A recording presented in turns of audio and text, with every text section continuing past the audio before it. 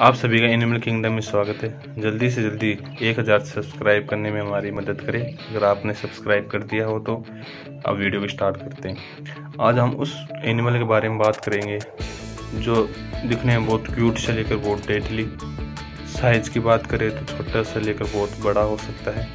पर कुछ भी कहो, वफादार तो इतना होता है कि पूरी दुनिया में उसकी कसें खाई जाती है। वो किसी भी चीज़ को बहुत जल्दी तथा बहुत आसानी से सीख सकते हैं। इसके लिए एक आपको एक बात बताता हूँ।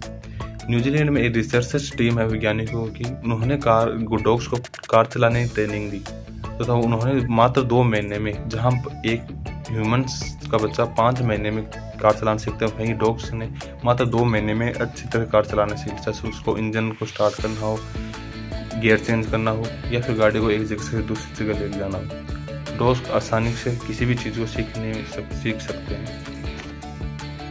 निक कार्टर नाम का एक डॉग है, जो ब्ले हाउंड डॉग की नस्ल का है।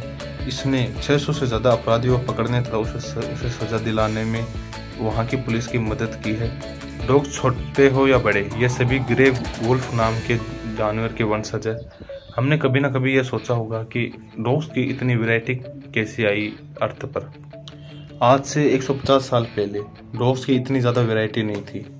लोगों ने जब क्वीन विक्टोरिया के पास एक रेयर पाई जाने वाले डॉग की नस्ल को देखा, तब लोगों ने वहाँ से डॉग्स की अलग अलग नस्लों की ब्रीडिंग कराना स्टार्ट कर दिया, जिससे आज तक चलती चल भी रही है।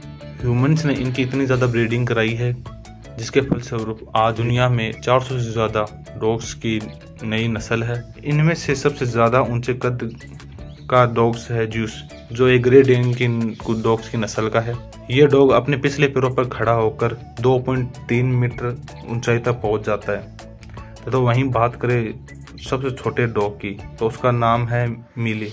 यह चार चार सौ पचास ग्राम का है, तथा यह चुहावा नाम की नस्ल का डॉग्स है। रिसर्चर्स में यह सामने आया है कि डॉग्स पालने वाले इंसानों की सेहत आम नॉर्मल इंसानों से ज़्यादा अच्छी होती है। जो डॉग्स पालते हैं उनमें कोलेस्ट्रॉल की मात्रा दो परसेंट से कम हो जाती है तथा जिनमें हार्ट अटैक के चांस भी चार परसेंट कम हो जाते हैं। ये इंसानों के कैंसर को सूंघ सकते हैं पता तथा इसकी सटीकता ये नाइन्टी फाइव परसेंट सटीकता से कैंसर का पता लगा सकते हैं किसी इंसान के अंदर।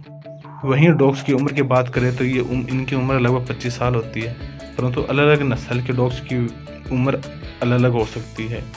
किसी डॉग्स का वज़न 1.8 के जी ज़्यादा होगा तो उसकी उम्र लगभग एक महीने कम हो जाती है। यानी छोटे डॉग्स की उम्र लंबी तथा वह बड़े डॉग्स की उम्र प्राय छोटी हो जा, मानी जाती है। डॉग्स हो या अन्य कोई जानवर हो उन सभी के अंदर ह्यूमंस की तरह भावनाएँ होती हैं। कोई अपना दूर हो जाने पर वो भी उनके भी आँसू निकलते हैं उनको भी सुख दुख दर्द आदि का अनुभव होता है। तो हमें उनकी केयर करनी चाहिए। अगर आपको ये वीडियो अच्छा लगा तो वीडियो लाइक चैनल को सब्सक्राइब ज़रूर करें। Thank you save enable saver end में. जय हिंद